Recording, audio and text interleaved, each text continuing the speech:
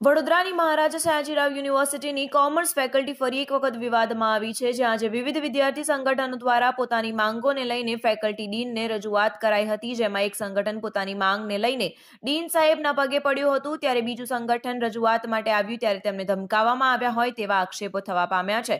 ત્યારે વડોદરાની મહારાજા સયાજીરાવ યુનિવર્સિટીની કોમર્સ ફેકલ્ટીમાં પ્રથમ વર્ષના પ્રવેશના મુદ્દા હોય કે પછી વર્ગખંડો શરૂ કરવાના હોય, આવી તમામ વાતો અને વિવાદો કોમર્સ ફેકલ્ટીનો પીછો છોડતી નથી.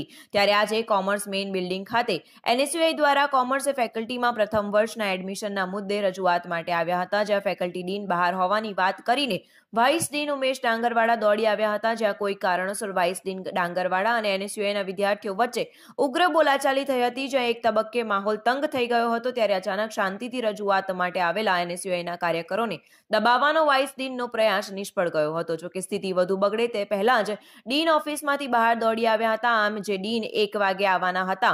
તેવી વાતો વચ્ચે મામલો તંગ થતા ઓફિસમાંથી બહાર દોડી આવ્યા હતા. આ મામલે એનએસયુઆઈ દ્વારા પોતાની પ્રતિક્રિયા આપવામાં આવી હતી. તો બીજી તરફ એજીએસજી ગ્રુપ દ્વારા કોમર્સની પ્રથમ વર્ષની બેઠકો વધારવાની માંગ સાથે ફેકલ્ટી ડીએનને આવેદનપત્ર આપવામાં આવ્યું હતું. દરમિયાન એજીએસસી ગ્રુપના વિદ્યાર્થીઓ અચાનક ડીનના પગે પડ્યા હતા અને બેઠકો વધારવા માટેની માંગ કરી હતી.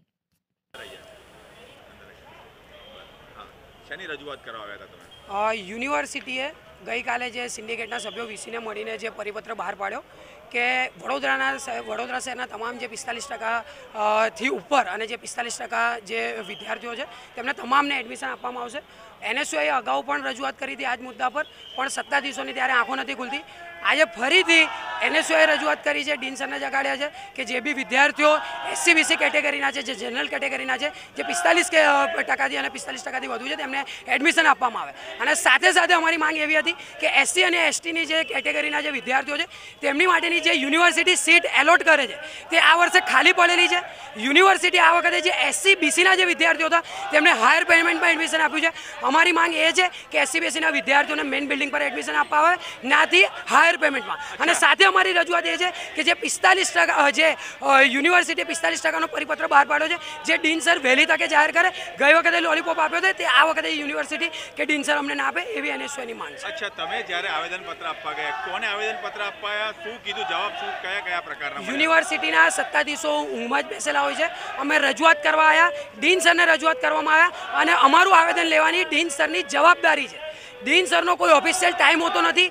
જ્યારે પણ આવેદન આપવા આવીએ છીએ, ત્યારે ગેરહાજર હોય છે. આજે પણ અમે આવેદન આપવા આવ્યા. તો એ ડીન સરની જગ્યાએ બીજા સરને મોકલવામાં આવ્યા અને કહેવામાં આવ્યું કે ડીન સર કોઈ અલગ જગ્યાએ કોઈ મિટિંગમાં ગયા છે. પણ આંદોલન ઉગ્ર બન્યું એનએસયુની ઉગ્ર માંગ થઈ. ત્યારે તરત ડીન સર અંદરથી આવે છે.